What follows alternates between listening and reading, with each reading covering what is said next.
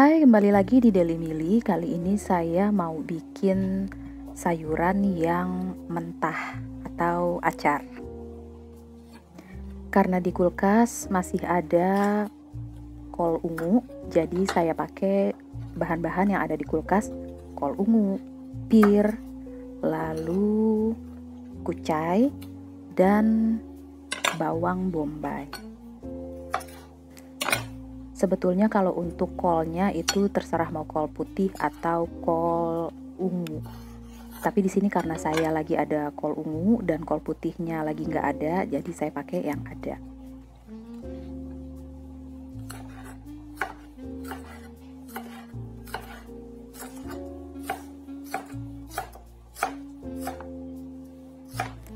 Kalau untuk potongan terserah mau kayak apa, mau potong dadu, mau gede-gede, cuma disobek aja, atau mau diiris halus juga nggak apa-apa.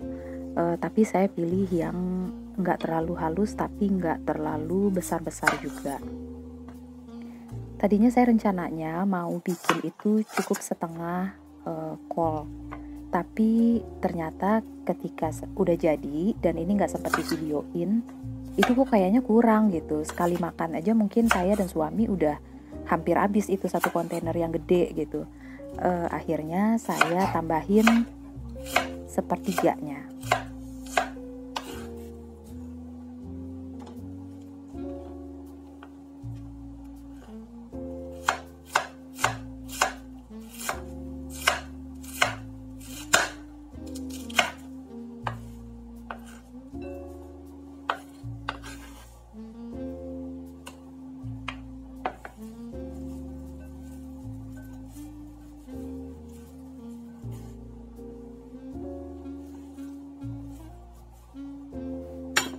apalagi untuk kalian yang biasanya tuh kalau malam suka bikin nasi goreng atau untuk pagi makan nasi goreng gitu ya untuk sarapannya. E, coba deh ini di, di stok gitu ya di rumah ditaruhnya di kulkas itu tahan. Saya sih biasanya berminggu-minggu udah dua minggu itu masih tahan gitu ya. Dan semakin lama tuh dia semakin enak semakin e, apa ya agak transparan dan enak deh pokoknya saya pakai pir yang ini saya nggak tahu nih namanya pir apa ya uh, yang kuning gitu. Nah ini karena agak ketumpuk-tumpuk di tempat buahnya di kulkas bagian bawah jadi udah agak-agak coklat kulitnya gitu ya tapi masih bagus dalamnya. Um, di sini saya tambahin supaya si apa namanya si acarnya itu nanti ada manisnya gitu. Makanya kenapa saya bikin acar itu lebih sering kalau nggak ada bangkuang, nah si pir ini salah satu pilihannya juga.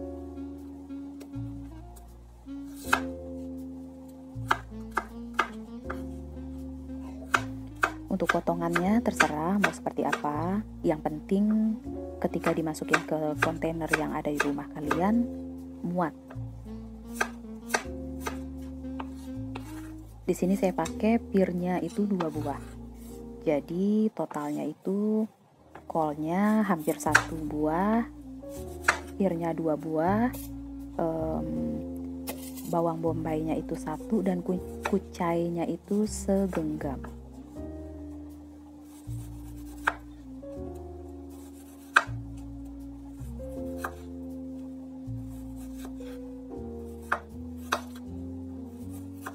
Kadang saya kalau pas lagi nggak ada cuka itu saya pakai lemon jeruk lemon gitu ya perasan jeruk lemon. Tapi kalau untuk kalau kita pakainya perasan jeruk jeruk lemon dia nggak akan bisa tahan lama dan dia jadi kayak apa ya agak-agak ya beda lah rasanya gitu ya ketika kita pakai cuka cuka masak.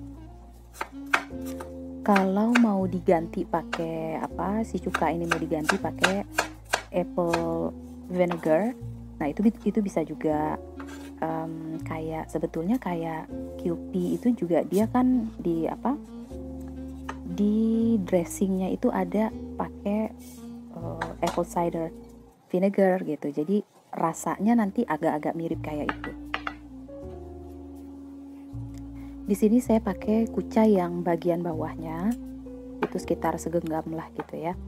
E, karena kalau misalkan yang bagian atasnya takutnya itu nanti kalau agak lama jadi dia agak kayak lodo gitu loh.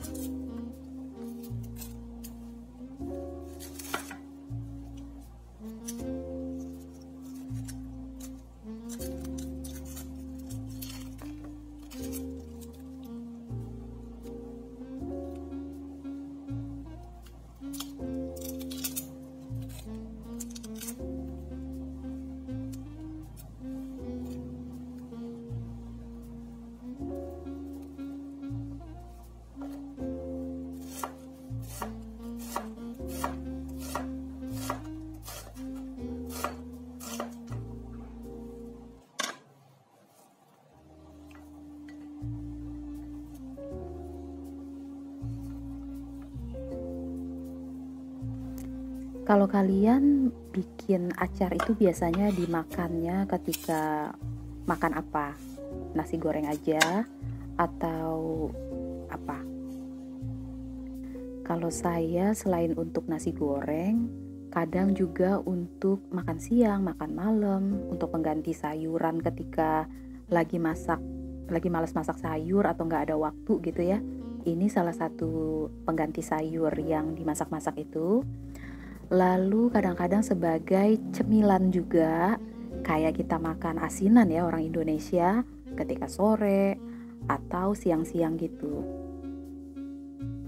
Yang pasti enaknya kalau makan ini dengan makanan yang eh, apa ya yang kayak nasi goreng itu kan digoreng ya. Jadi makanan yang agak berminyak gitu ya. Mau itu nasi goreng, mie goreng atau makanan pendamping kita yang ketika lagi banyak makanan yang digoreng. Itu jadi bikin balance. Kayak soto terus apa ya? Ya pokoknya kayak gitu deh yang pakai santan. Nah ini untuk pendampingnya. Nah ini kegiatan yang ini itu saya kasih air tadi ya sebelumnya saya pakaiin garam saya pakaiin air saya bejek-bejek sedikit gitu ya. Uh, terus saya bilas dan saya pakaiin air lagi ini yang kedua kalinya. Habis itu saya buang airnya dan langsung saya pakaiin cairannya saya bikin cairannya setelah ini Oke, sekarang saya mau siapin untuk kuahnya. Di sini saya pakai gula putih, gula pasir itu sekitar 6 sendok teh. Lalu saya pakai juga garam 1 sendok teh dan cuka. Cuka biasa ya, cuka masak itu 3 sendok teh. Dan kebetulan memang cukanya hanya tinggal 3 sendok teh dan alhamdulillah itu pas Oke untuk airnya saya pakai sekitar 400an tapi nggak sampai 500 ml.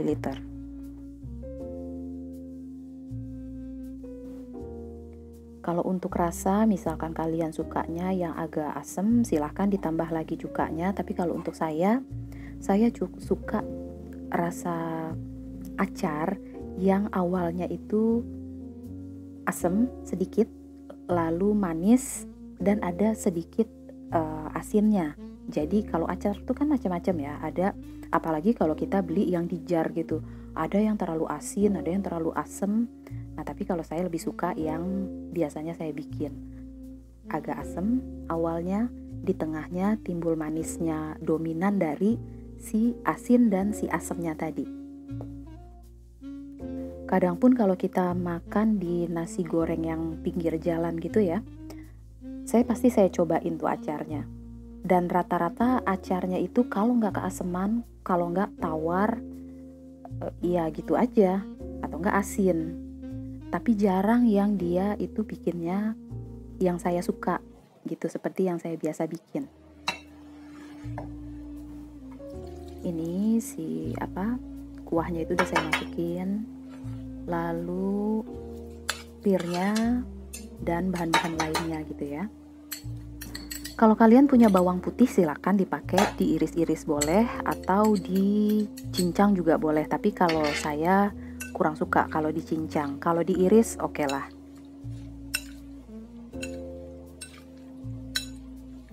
Nah, ketika saya lagi ngaduk-ngaduk ini saya agak lupa satu hmm, satu bahan yang saya lupa. Saya lupa kasih corn syrup. Kayak apa dia? Ini sebentar lagi saya ambil di kulkas.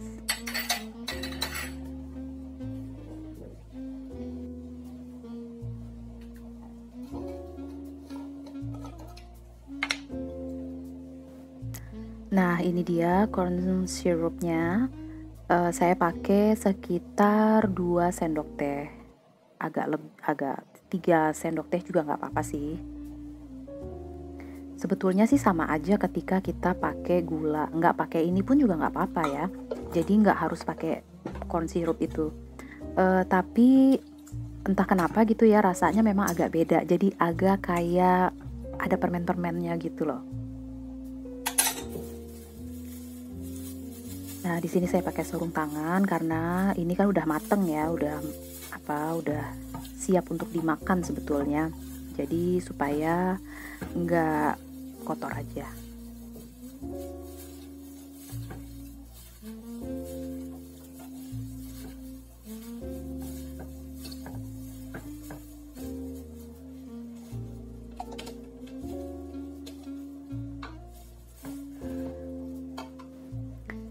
Sekarang saya masukin di um, toples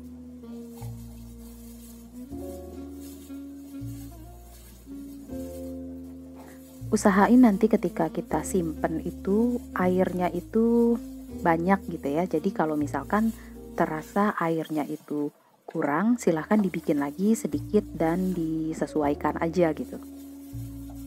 Karena kalau semua sayur itu nanti nggak kena cairannya yang bagian atas itu rasanya agak beda. Yang di bawah justru lebih terfermentasi. Pokoknya rasanya jadi beda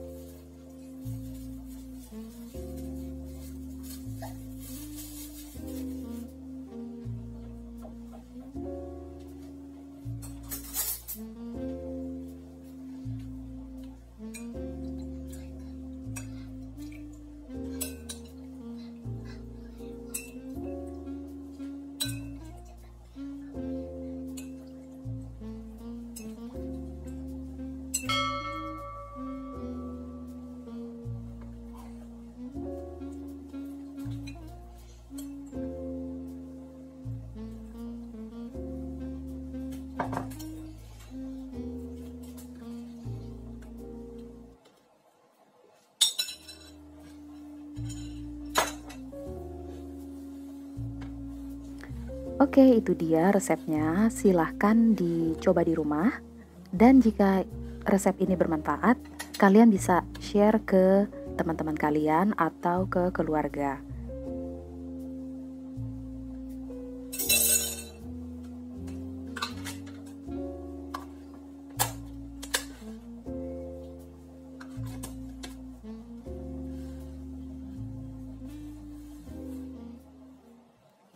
Semoga resepnya bermanfaat. Thanks for watching dan Assalamualaikum.